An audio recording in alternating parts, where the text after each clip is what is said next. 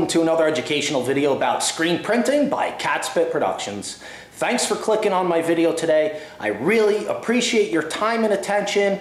Please subscribe to my YouTube channel if you like my videos, you like the tips, the advice, the information, maybe a little bit of the humor. If you enjoy that, please make sure to subscribe to my YouTube channel today. You don't know how much it means to me. It helps me stay motivated, it keeps me going, and it actually really does help me grow on YouTube. So it's a free way for you to give a little bit back to help me out for you know all the free information I give. If you appreciate that, you enjoy it, you like it, so help me out a little bit and hit the subscribe button right now. Thanks, I really appreciate it, seriously.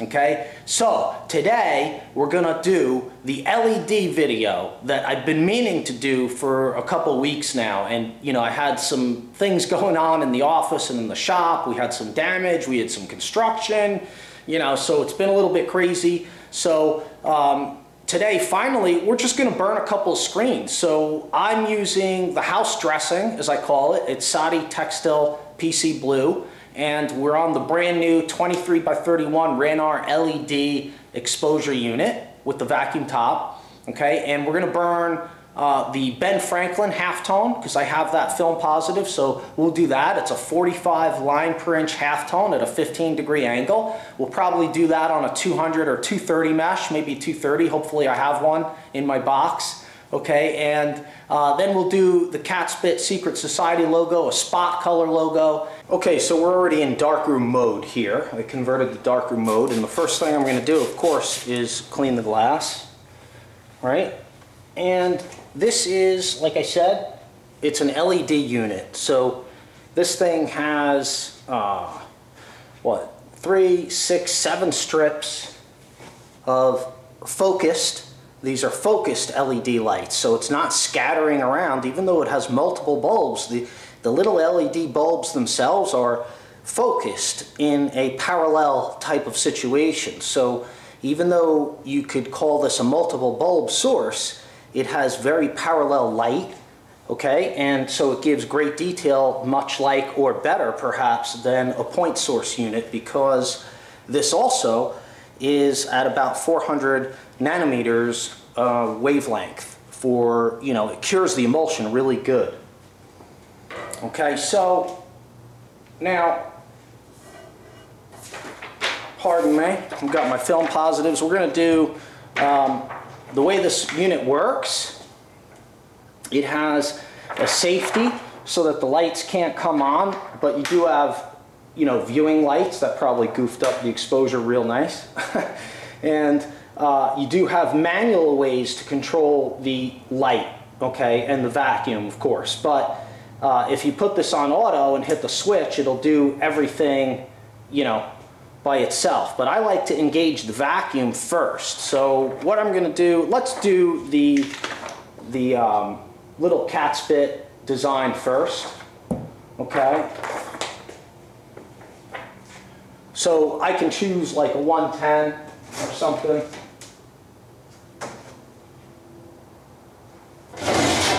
I'll pull out a screen and take a look at it, make sure, you know, it's halfway decent to use. I think this one's a 125 or something. All right, so I can just eyeball this today. We're not too concerned with anything except how well does it expose? How well of an exposure are we going to get? But I already have been working with this, and I'm at about 10 seconds exposure time with Textil PC Blue Saati, which I sell on my e-commerce site. Whoops, don't drop your screen on the glass. And um, so that's it, we're, we're set. Let's do this exposure. What I'm gonna do is we're gonna expose both screens and then we'll go over to the washout booth and wash them out one after the other. So let's expose this one and then I'm gonna put it back in the cabinet and hopefully remember which one it is. okay, and then uh, we're gonna expose the Ben Franklin one and put it in the cabinet and then we're gonna, you know, we'll wash them out together. Okay, so let's see here. I got this in here without breaking my glass. and so you can latch it if you want. It has this latch here. You can latch And uh, at this point, I use the vacuum. This unit has vacuum, basically a uh, like a you know a shop vac motor. But uh, I do believe in the future we're going to offer some models with a vacuum, a real vacuum pump, so that it's quiet if you so desire. But right now, it's a standard uh, you know type of uh, vacuum blower motor that you would find in a uh, shop vac. So it's a little noisy, but it does the job well for the price. Okay, so what I'm gonna do is I'm gonna engage the vacuum, I'm gonna make sure it's, it, you know, sandwiches really nice, and then I'm gonna hit the exposure for 10 seconds.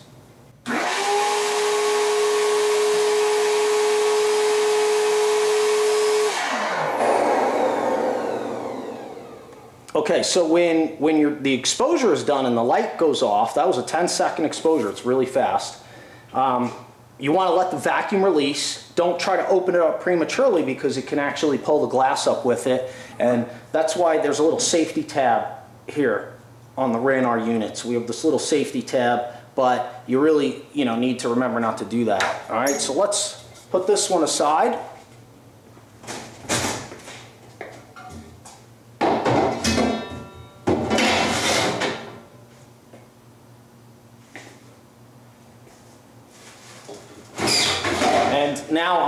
For uh, the proper mesh count.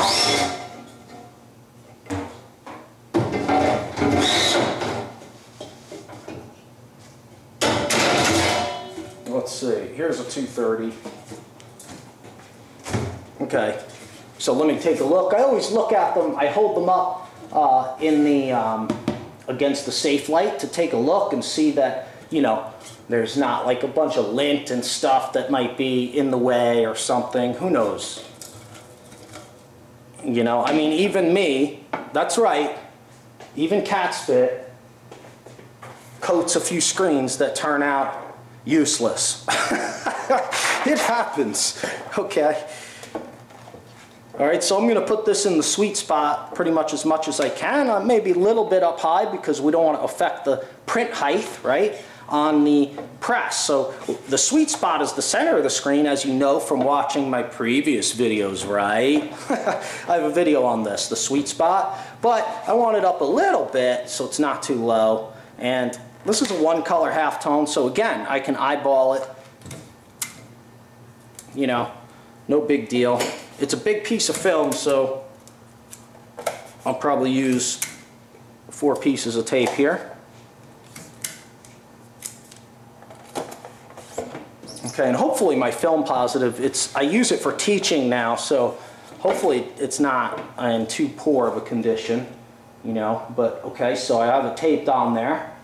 All right, and now this time I'm going to try to put the screen in without banging my glass or possibly breaking it. You always want to be careful because the glass can scratch from the, the screen action, so you really want to be gentle and careful.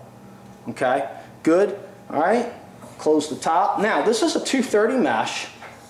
This is a 230 mesh, and yes, it is dyed yellow. And a lot of the times you'll note that people will, you know, oh, it's dyed mesh, and the dyed mesh is going to absorb a little light, and we want to, you know, add a little bit of exposure time for that. But in, in my experience, a lot of the time, because the 230 mesh, the higher mesh counts hold a lot less emulsion, I don't really need to tweak my exposure all that much. So Let's find out today if that's the case. So I'm gonna try this at 10 seconds, the same exposure time that I did for the spot color on, on the 125 mesh.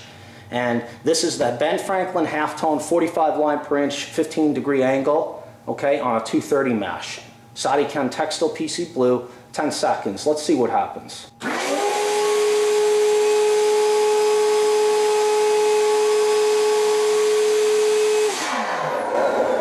Yeah, so it's a really fast exposure. So what I'm going to do is I'm going to leave this one right in here like this. And let's go uh, to the washout booth setup and we'll wash out the spot color first and then this one and, and we'll see what happens. All right, so as usual, the first thing you want to do uh, is wet down the screen on both sides and the latent image is going to show up. I'm going to turn on the, the light and it's probably going to mess up the exposure and stuff, but the idea is that this should wash out pretty quickly and if it doesn't, you know, that's a, a sign of problems in the exposure. So let's see how quick this washes out.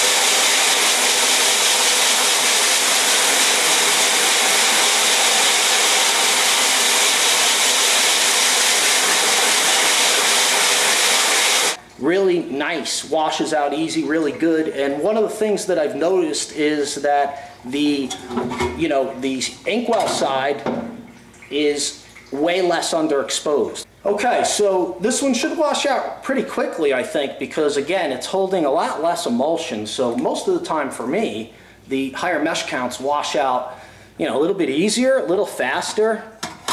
All right, so we're gonna wet it down on both sides, turn on the light and go for it and try to do it and be done with it as fast as possible.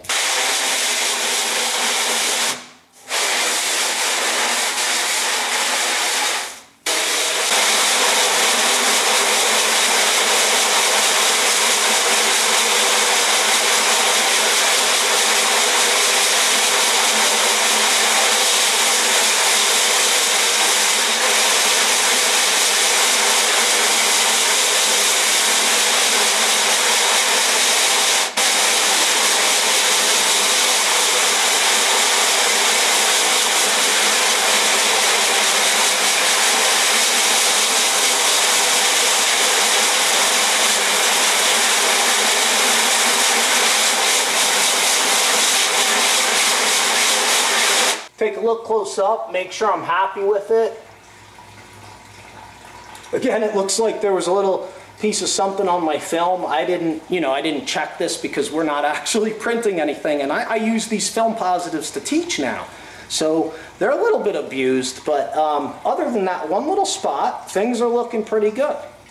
Not bad. So I would stop right there because, you know, that's it. I can see everything is washed out that I want. And you know, as you know, with something like this, the more you keep working it, right, the more likely we are to push off some of the dot or detail or what have you. Okay, so let me let this dry out. I think the uh, LED units are awesome and they do a really good job uh, with exposing the emulsion fully and most completely through the entire layer from the portion that comes in contact with the glass and the film positive all the way through to the inkwell side. So there's very little scumming or filming, if any at all, for underexposed emulsion on the inkwell side and you shouldn't have any problems with clogging from that. And you know, it, it definitely gives you very high resolution. There's no doubt about it. There's very little to no undercutting because your exposure times are so short and the LED light source is very clean. It's uh, tuned, dialed into the emulsion that uh, the light that it wants to see. And it's it's very parallel despite the fact that there's multiple little bulbs. Each little bulb is focused in a, in a way to emit the light straight up. So they you know, the LED units are eventually going to replace the point source units. I think that's what you're going to see in the industry because they're cheaper to buy, they're cheaper to run, and they work just as good. Okay, so here's a little closer. This is 125 mesh, 70 mic, 125, 70 mic, um, white mesh, Textil, Chem textile PC Blue, 10 second exposure. Here's the Ben Franklin halftone. It's a one color halftone with spot colors. And this was a 45 line per inch halftone, 15 degree angle on a 230 mesh.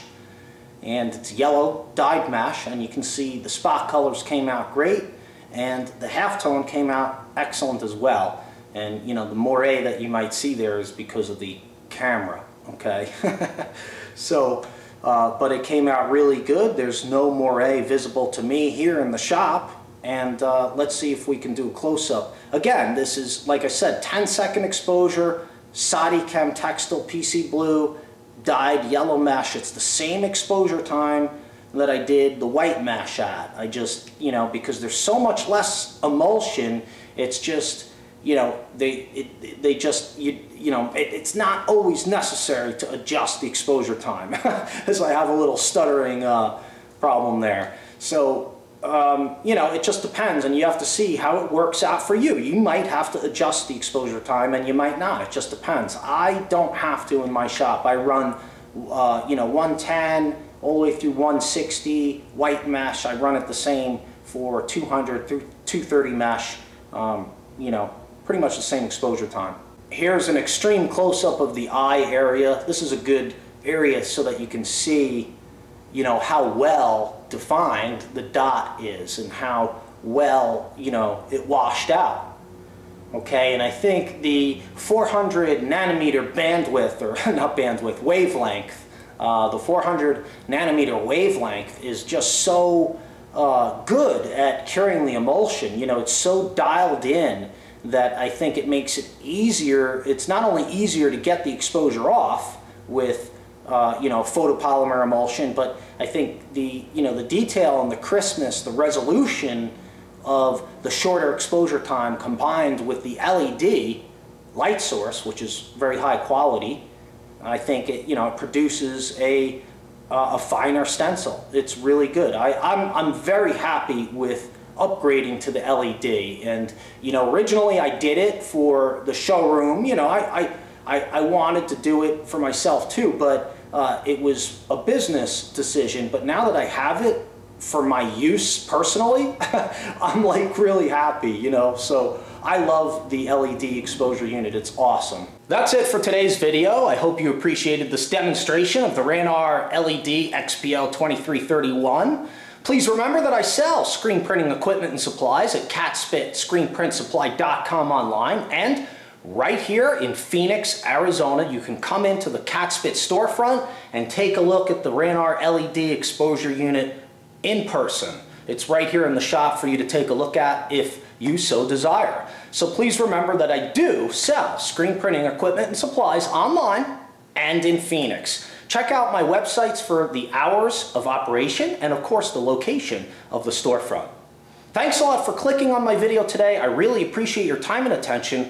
Please subscribe if you appreciate the tips and advice I give you. Please subscribe today and of course, we'll see you next time. Thanks for watching.